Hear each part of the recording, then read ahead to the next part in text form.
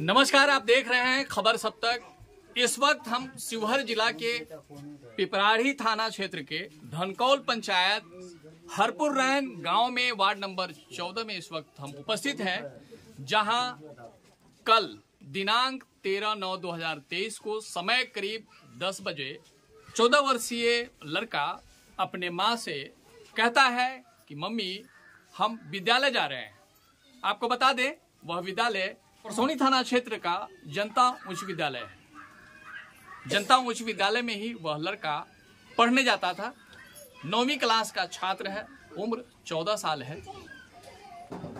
उसके बाद विद्यालय का समय जब खत्म हो जाता है, माँ अपने बच्चे का इंतज़ार कर रही होती है। करीब पाँच से छह बजे जब बच्चा घर नहीं आया तो बच्चे की माँ ने अपने आस पड़ोस के बच्चे जो इनके लड़के के साथ पढ़ने जाया करता था उनसे पूछा तो बताया कि इनका लड़का अब तक स्कूल गया ही नहीं है। फिर क्या कुछ होता है? सीधा हम उस माँ से बात करते हैं जिसका चौदह वर्षीय बेटा कल दस बजे से ही विद्यालय तो गया लेकिन विद्यालय पहुँचा नहीं। सीधा चलते हैं उनके पास। क्या नाम? थोड़ा ज़ोर से बोलिए। क्या हुआ? बेटा कितने बजे गया था आपका? दस बजे। कहाँ? स्कूल। कौन सा school?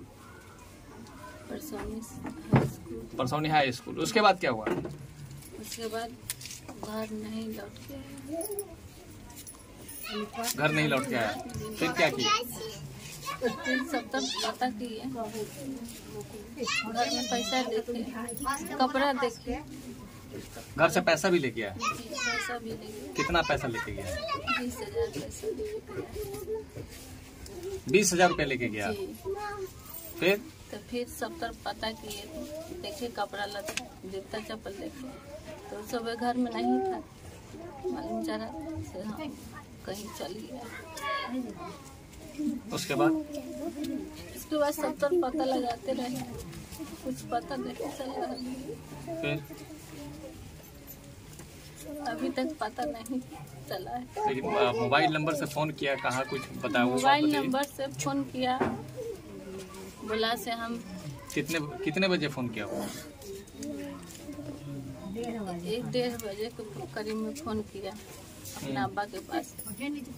अब्बा को बोला से पैसा भेज दीजिए। अब्बा बोला से जाओ अम्मी से ले लेना पैसा। कथी करेगा पैसा? कहे जैसे स्कूल में। काम है एडमिशन एडमिशन कराना है। हम्म, तो बोला से जाओ अम्मी से ले लेना तो कहाँ है तो कहा से हम शिव परसौनी है। इतना बोल के कहा से रख रख फ़ोन काट दिया। उसके पास से कुछ पता नहीं। चौदह साल का बेटा मोहम्मद इमरान माँ को बोलता है कि हम विद्यालय जा रहे हैं विद्यालय नहीं पहुँचता है। समय से जब घर नहीं लौटता है तो जो बच्चे, इमरान के साथ जो बच्चे, यहाँ के बच्चे जो पढ़ते हैं, उन बच्चों से जो है माँ ने पूछा, जिसमें बच्चों ने बताया कि इमरान विद्यालय पहुँचा ही नहीं। उसके बाद डेढ़ बजे के करीब इमरान अपने पिता को फ़ोन करता है, जिसमें तेरह सौ रुपये एडमिशन फॉर्म भरने की- बात करता है कि, पापा, हमको तेरह सौ रुपये भेज दीजिए। उसके बाद इमरान से दोबारा बात नहीं होती है। हालाँकि उस नंबर पे फिर दोबारा परिजन के द्वारा, इमरान के पिता के द्वारा भी उस नंबर पे फिर से संपर्क किया जाता है।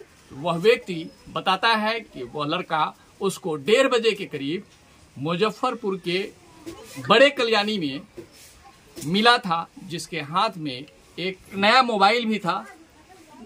तो उस व्यक्ति ने बोला कि नया मोबाइल लिए हो। कितने का मोबाइल है? सिम नहीं है, तुम अपने मोबाइल से ही बात कर लो। उसने कहा कि अभी हम नया लिए ही हैं, जिसमें बच्चे ने कहा कि सत्रह अठारह हज़ार रुपए का है। और आपको बता दें कि उसकी, उस व्यक्ति से, जिस वक्त, व्यक्ति के नंबर से बात हुई, उस मोबाइल नंबर पे अब तक बात हो रहा है, लेकिन वह यही बताया कि कल डेढ़ बजे ही बच्चे के हाथ में नया मोबाइल था। बैग टंगा हुआ था और हमसे बात, हमारे नंबर से बात किया, उसके बाद कहीं चला गया।